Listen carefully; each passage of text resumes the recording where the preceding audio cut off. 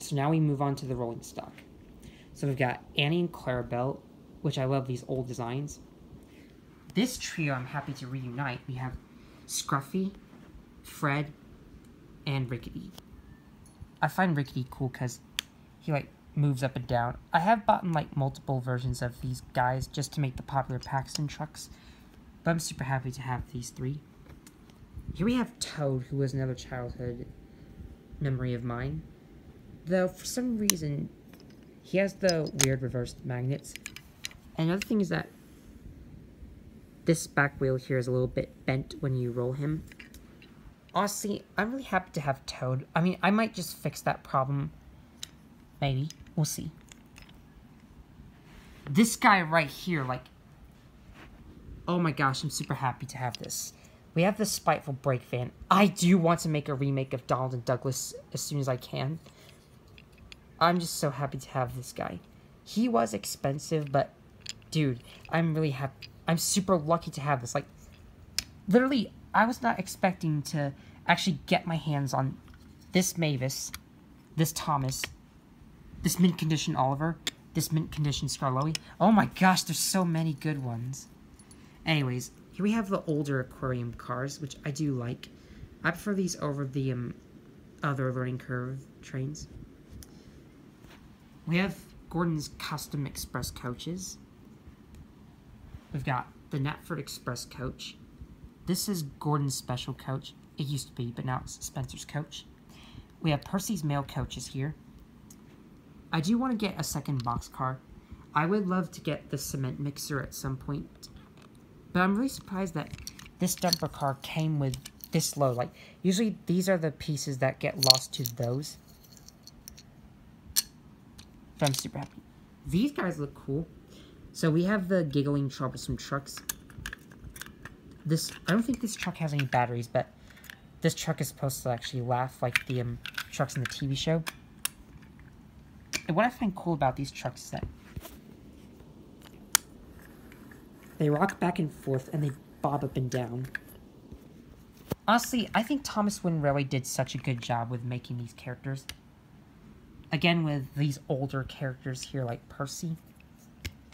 I really don't know why they had to make these abominations. Anyways, we have this log car here. The Brio log car that you can buy on Amazon.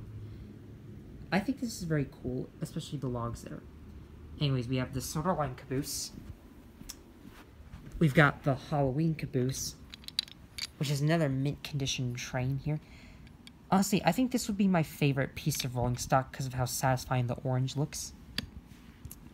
We got the tar, the fuel, and the milk tankers.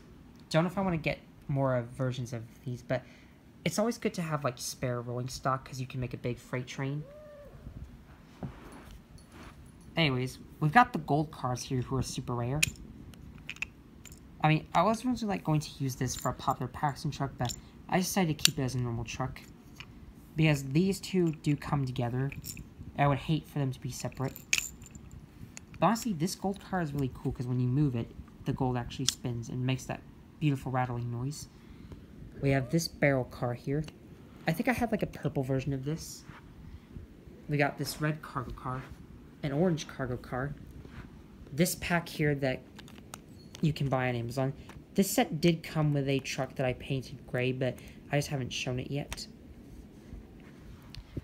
Anyways, last but not least, we have my only road vehicles here. I really want to get Harold so bad. But anyways, we have Bertie here, which this is actually the older version of Bertie. Which I am happy to have Bertie here, like... He even has like the little passengers inside. Really sucks that Bertie had to be changed as well. We have Trevor here, who surprisingly didn't get changed until like 2017, when Mattel took over. He's a super cool character. We have Terence here, who is interesting. So, I think Terence does have cow catchers, but I honestly think it works better with this, because the if you put, like, traction tires on these things, like, it looks super weird, but, um, I really love Terence as a character. Super glad that they brought him back in the CGI series. Here we have Bulgy, who, surprisingly enough, he wasn't, like, released until, like, I think the early 2000s. But anyways, Bulgy here is pretty interesting. I mean, I do kind of wish that Wooden Railway would have made a green version of Bulgy. I would have loved that. And for some weird reason, I really don't know why Andrew Brenner decided to repaint Bulgy red again. They should have like kept him green in the CGI series instead of just making him red again. But anyways, we have Caroline here, who is pretty cool. We have George, who I've had George for a few months. And finally we have Butch here. I'm really happy that they gave Butch a face here. Like, one thing I didn't understand is that in Horrid Lorry, Butch didn't have a face. But I think he's really cool.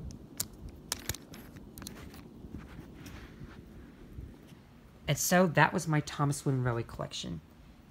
I know this collection is very small, but I'm really happy to have these guys. Like, I really love Thomas Wooden Railway to death, and it will always be praised for years to come. There are certain characters who I want to get. I want. I believe that there are only like two more expensive trains left: the Thomas Express battery powered Thomas, and Class 40. After I get those trains, the rest should be easy. Like they should be relatively cheap for like under ten dollars or something.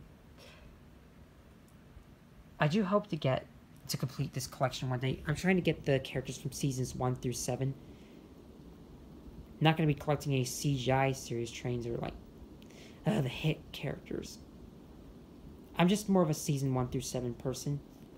I mean, I did like Andrew Brenner, but there are just some certain things that I didn't like about the Andrew Brenner era, but I still think it's good. I'm just glad that they rewritten the episodes. So thanks for watching.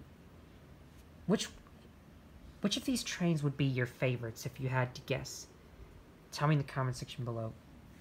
I'm just really glad that I've got characters like Edward and Henry and Donald Douglas and the Flying Scotsman. These are just like so, so beautiful. Like, I will always love these to death. Much better than these abominations. So, thanks for watching, and stay tuned for more. Hammy 2009.